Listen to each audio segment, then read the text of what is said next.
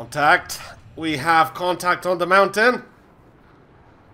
Proceeding to engage target with this here vehicle of the air.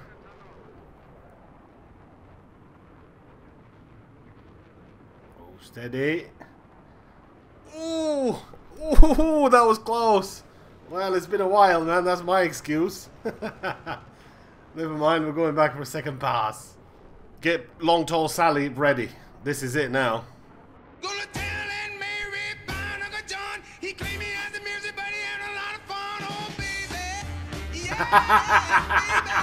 yes! Oh man, it's been a while since I've been on the battlefield, but god damn, I'm in the gentleman's D-bag club, whatever this server is that I've joined. And I gotta say, man, I just missed a good old Battlefield game. I gotta be honest. I, I, I, I felt the urge. I need the. I felt the need for speed, boy. I just felt the need to find me a sniper and teabag him or just roadkill him with a plane. I had a, like a scene stuck in my head for a few days now. It's in a movie. Somebody has to remember this. I just cannot remember the name of the movie. It's basically like a black SUV that sort of goes jumping through the air, and there's a guy on a bike, and the wheel just hits his head, and he's like in slow motion. I've been trying on, even on Discord, to try and find out what that movie is called, but no, I just can't remember it. It just stuck in my head, so I thought, yeah, I'm gonna go to Battlefield, and I could do that.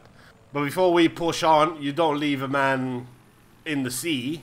I don't know what he was doing there. He's probably training for swimming the channel or something, but we don't leave no man behind. We'll pick him up.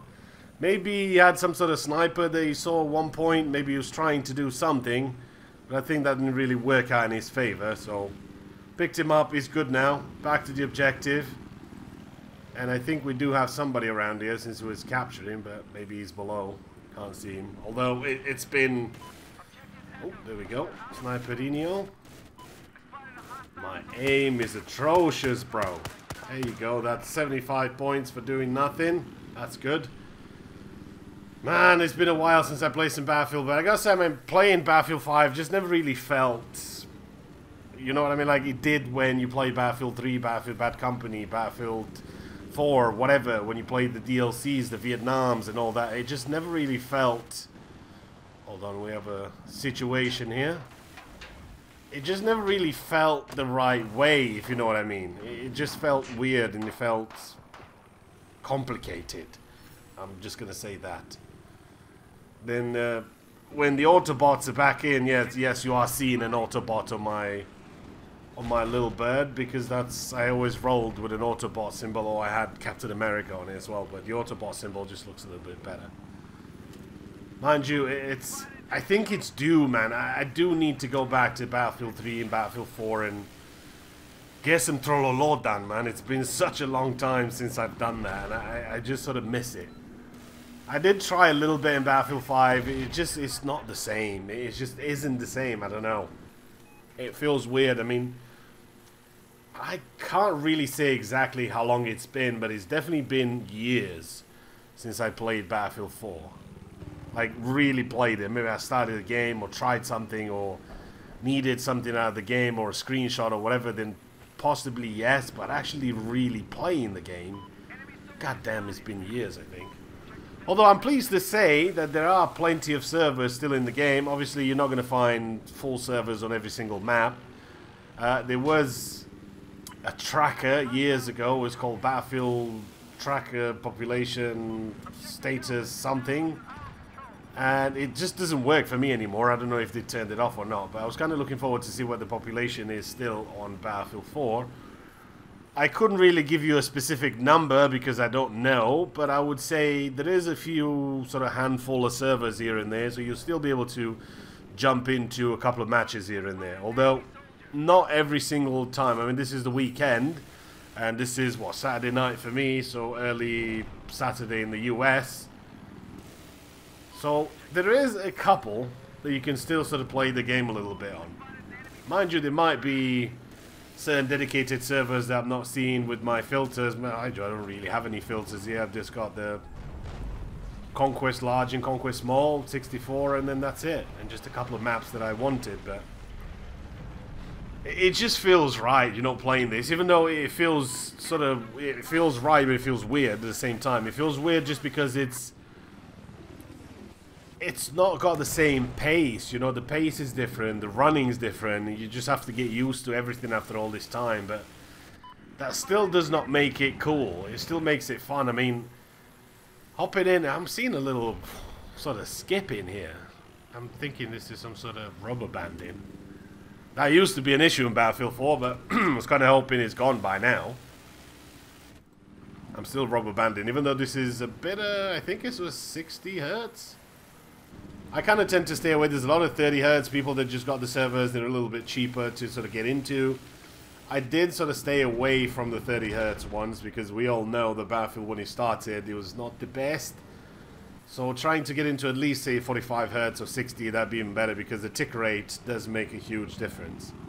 And especially since I've not been up in the sky in such a long time, I kind of don't know how things work anymore, if there's still people whoring the AAs and sitting there and just laser designating targets and things like that. I mean, if that was still the case, I remember playing, well, 80% of the matches that I played honest to God, when I finished that session of a couple hours playing, all I heard was peep, peep, peep, peep, peep, peep, peep, peep, peep.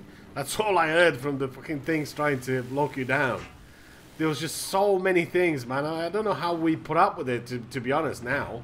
Come to think of it, how did we put up with all those BP stuff? I mean, there's so many things trying to kill you when you're flying. It's just unreal, but...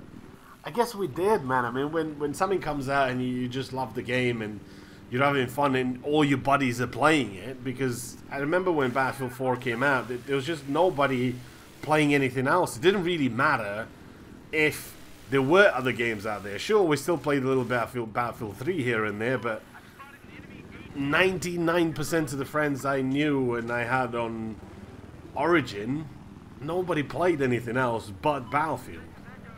It's so weird now to see like there's nobody playing any of the new games. It, it just it, it's weird. It's I think it's just one of those things that you'll always come back to these times as really great times that you had fun with your friends and you, you turned up to do all sorts of weird stuff on the battlefield, which was pretty cool. And that's always going to be with me. That's always going to be good memories. So I, I think in order for me to to honor this right. I think I might have to go play a little bit. We'll do some trolling. We'll get a couple of matches going. We'll PTFO like a boss because there is a couple of people that like to PTFO. I myself like to PTFO from a distance a little bit where the enemy sniper is or somebody out of the way. But uh, we will make an effort to uh, PTFO if we need to. I think it's needed. Uh, ping's not too bad. I'm thinking I'm rubber banding here, but ping's not bad. So I think it's uh, it's it's good to say that I need to go back into Battlefield 4 and Battlefield 3 and sort of play a little bit more, get a couple of matches going, some funny stuff, some cool stuff, some trolling. I think we need to bring that back a little bit, just to just to remind ourselves that it's not all doom and gloom, man. It is good. While sort of the latest games might not be what we wished for and what we wanted, it's not all doom and gloom, boy. It's still here, so we're just gonna have to play a couple of matches and. Um, bring some of the magic back, bring some of that fun back.